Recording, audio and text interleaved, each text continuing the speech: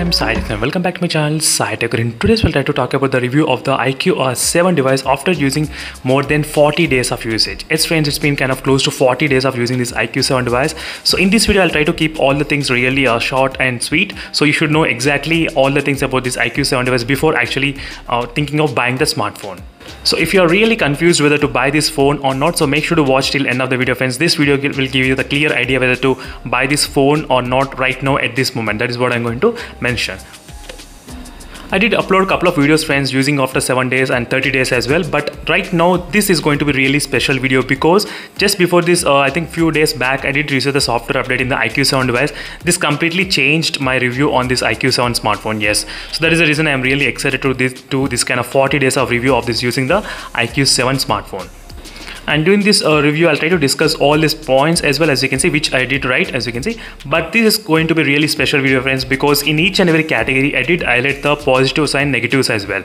So in this way I'll be able to uh, convey you the message which uh, category has got a problem and which has got not. So this is what you will get to know friends. Each and every small small details I'll try to describe you in this entire video. In case if you are having any other doubts don't worry. I got you covered. Try to check this playlist for the iQOO7 device where I uploaded more than 400 videos only on the iQOO7 device. As friends 400 plus. So now let's get started with the first thing about the performance. So what is the performance pros and cons? That is what i'm going to discuss. So in terms of the pros so first is advantage with this phone is that consistency in terms of the performance yes. So it doesn't matter what game what how much intense pressure you put on this uh, processor in the iQOO7 device the phone will never uh, let you down yes. Under any kind of benchmark any game how many applications you open in the background doesn't matter. Even if the 100% storage also filled doesn't matter. The performance will be always consistent in this phone born and for the hardcore heavy gamers so considering the heavy gaming point of view this phone is particularly designed for the gamers yes. So except the physical trigger buttons we don't have in this phone and except the 3.5mm jack but basically everything in this phone completely designed and optimized for the gamers yes. So for example you do get the different different options for the gamers particularly the 4d vibrations and the voice changer option and game frame interpolation. The game frame interpolation i'm not sure exactly how it's useful. Some people they do say it's kind of gimmick but so i did not see much kind of improvement i would say but I did like one option which is a 4D vibrations particularly and the voice changes. So these are the few things which our gamers will be taking advantage while playing the games in the iQOO7 smartphone. So you won't feel any much uh, lag or delay as well there will be a couple of frame drops as well i did upload a video on the bootcamp so if you want you can check those videos but overall in my testing, I did not feel any kind of issues. But one thing is that this consistency performance re will result in definitely heating problems and the battery draining problems. So what has happened is that with the recent software update, uh, some kind of different thing I did notice in this phone which is uh, heating. Heating temperature is not increasing much. Before it used to increase a lot of temperature but right now it did not increase much. For example before it used to increase up to 44 now it's increasing up to 42 42 and 43 just only one degree kind of difference I did observe during this time of testing. Not only that I did observe the slightly above throttling test I am getting. So before I used to get about 79 percentage and 81 percentage if you remember and if you watch my videos. So now I'm getting about 90 percentage as you can see friends and the score did not decrease. The throttling so they did not affect any kind of performance. Performance did not decrease. So some other manufacturer phones they'll definitely do like this to maintain the throttling. They'll try to decrease the performance, but in this case it did not happen like that. As you can see, friends. As I said, I'm not a partiality to any kind of smartphone or any kind of manufacturer. I'll just try to show you the facts. So what I'm getting in my reviews. That is what I'm trying to do in every test and there is no point for me to uh, be partiality to any kind of manufacturer company basically friends it's it's not the way how i do it so let me just show you the couple of uh, throttlings as you can see before it used to up to 80 percentage. As you can see the throttling performance used to used to be 80 percentage. And before that 79 percentage as you can see 79 percentage. So there's a huge difference is there after update and before update 81 percentage with the performance. As you can see 3 lakhs 24 so overall after the recent software update the performance got slightly got better and the temperature slightly not increasing much. So that is the reason i did say in the beginning itself the update makes lot of difference. So that also results in the battery draining. Obviously friends if you want something you'll you need to lose something. So it, these are the iQOO phone is designed and it's working like that. If you want the performance you need to bear with the heating and the battery draining in this mobile phone So next regarding the display. So regarding the display, there are pros and there are more cons than the pros. So first advantage with the display is that we do have the 300 Hz touch sampling rate and 120 Hz uh, refresh rate as well. That's really good. So you are actually able to get that thing. But one thing is that you don't get 300 Hz touch sampling rate in every application. Only the applications and the games which are added into the ultra game mode only the ultra game mode will be enabling this kind of high touch sampling rate. Otherwise you will get very normal touch sampling rate. That is the one thing you should remember. And the refresh rate is of 120 Hz that's perfectly fine. No problem at all in terms of the display so in terms of the cons, so the display has got more uh, disadvantage than the advantage. I'm not saying this is possible in every unit. So only few units, this kind of problems may occur friends. That is the one thing you should remember.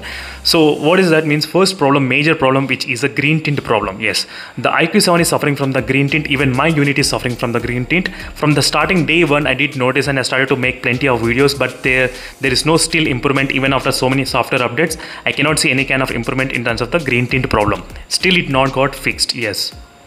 So green tint you can find on the notification panel like this. As you can see friends when you try to use in the low brightness mode in the dark environment you'll get the green tint in the iQOO7 device. That's even right now it's happening so next major thing is which is the screen flickering issue which is happening in the iQOO7 smartphone as you can see this is what the screen flickering is. So you may not be able to see with the eyes but you will be definitely seeing with the, which you, if you try to record with another smartphone.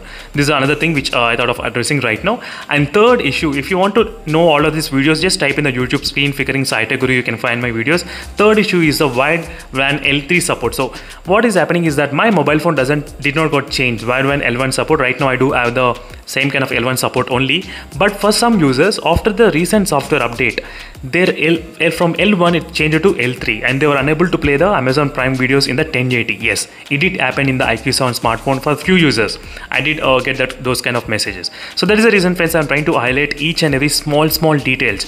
Just like that I'm not trying to uh, talk about the display I'm trying to uh, show you the facts and the reality as well. Before actually buying this phone you should know each and every pros and cons as well. So now let's move to the next topic which is the battery and the charging. So in terms of the battery friends the phone comes with a 4400 mAh of battery capacity in this phone. That's pretty normal nowadays we are saying, which is close to 4500 only. That's okay. I'm getting the screen on time about close to 6 hours. So 6 hours of screen on time with using 120 Hz refresh rate. So 120 Hz refresh rate, 6 hours of screen on time. That's perfectly alright, no issues. And the charging speed also, my phone takes about 32 minutes of full charge from 0 to 100 percentage. So you need to remember few things. There is a disadvantage friends. So slow charging problem will definitely occur in the iQOO7 device. So you need to make the room and surrounding environment really very cool only then the iQOO7 phone will be able to charge faster. Yes. So a lot of users they are actually doing like that. So trying to charge the iQOO7 device by turning on the cooler or maybe air aircon something like that. But just maintain the low temperatures if you want the high speeds in this phone. So that's another thing. So next is battery can be draining a little bit kind of more than expected while you're gaming yes. So if you try to use the 4g data and if you try to play the games then the battery will be draining slightly more than expected. There is another thing which i thought of mentioning for the gamers as well. But you don't lose any performance friends. Even when the battery percentage is one percentage you will get same performance results when the battery is at 50 or 60 yes. That's that is how the iQOO is I'm designed for even I am shocked by, by this kind of performance. Only the performance is a really advantage for this phone. So now let's move to the next topic so which is the camera? So in, in terms of the camera as well we do have the advantages and disadvantages. So advantages are good stabilization. Yes the phone has got the really very good stabilization in terms of the video recording which is very very good friends. You do get the different different shots. If you try to click on that one you'll get the standard stabilization if you try to click and you'll get the ultra stabilization which will record in the 1080 and 60 fps i did upload the sample videos. If you want you can check those. So stabilization is one of the advantage. Not only that that night mode shot is really great I'm really impressed by the night mode shots. So I think right now I don't have any other smartphone which can actually perform this close to this night mode shots. That's the one thing which I thought of mentioning right now. So stabilization and the night mode are the main advantages for this phone. So the disadvantages are front cam. So front cam, some people they did not like the front cam in this iQOO7 device. They did not enjoy this kind of uh, clarity they get using the front cam that is another thing which I thought of mentioning. And main camera also sometimes it doesn't work properly. Sometimes you do get more green sometimes. So for me I'm, I'm completely satisfied but I did get the feedback regarding the back cam as well. That is the reason I thought of showing you the proofs as well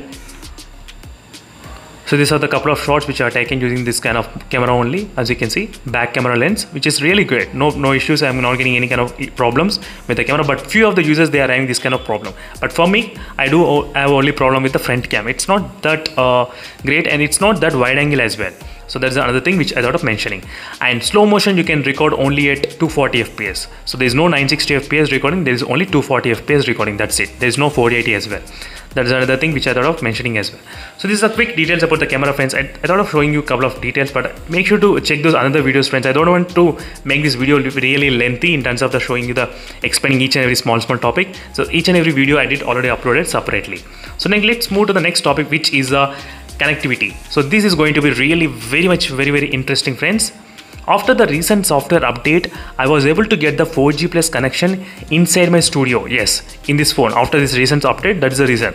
And for few users, they did not uh, get any change but for few users yes the update got changed completely the speed test. The speed got increased when you're trying to use a 4g data even in the indoor conditions as well. I did not expect. It's totally unexpected. There is no information about this one in the update log as well nothing.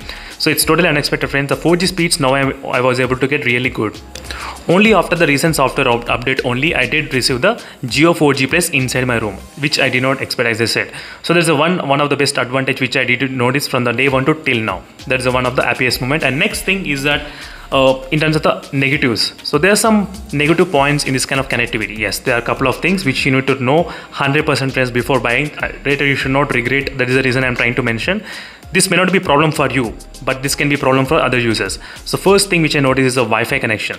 So right now I connected to the 2.4 gigahertz. So what is happening is that so 2.4 gigahertz, if there is any Wi-Fi connection with a single band, the maximum transmit link speed will be only 144 Mbps. That's it. So it won't exceed more than that. The reason why i'm saying uh, it more it won't exceed because there are other phones let me try to show you a couple of other phones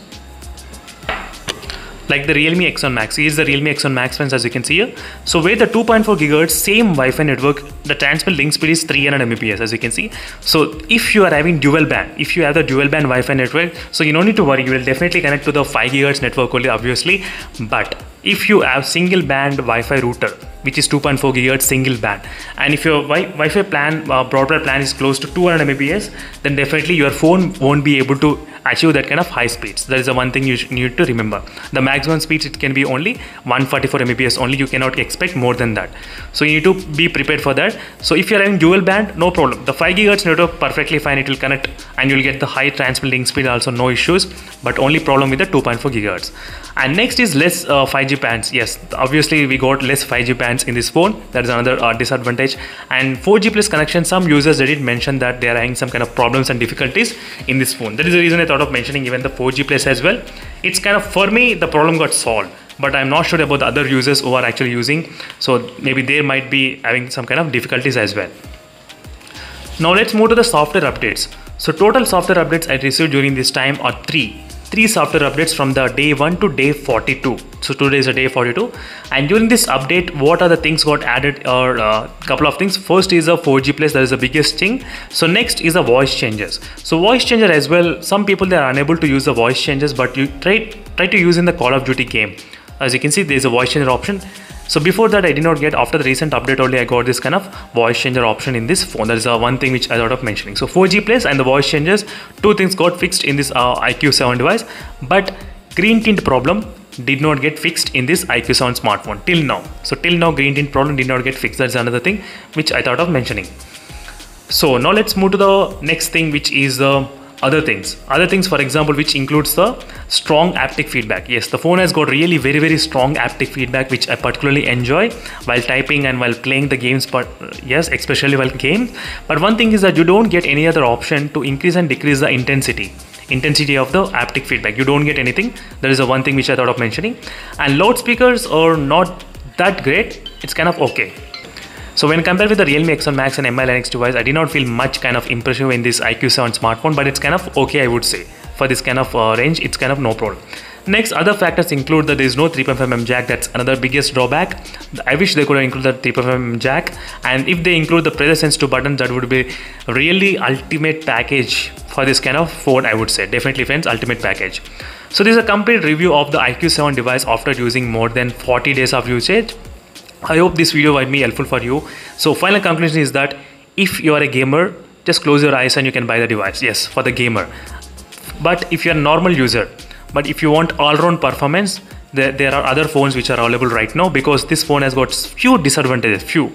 As i said this is not happening in every unit so you need to know all the disadvantages and be prepared for the disadvantages before actually receiving the smartphone. So thank you friends for watching this video. I hope uh, this video might be helpful for a lot of other users. So thank you for watching. The only reason i'm making this video is because a lot of iQOO users they did ask me whether to buy or not this device. That is the reason i thought of making this video and uh, thank you for watching and see you in the next video friends. I'll stay tuned for more updates. Bye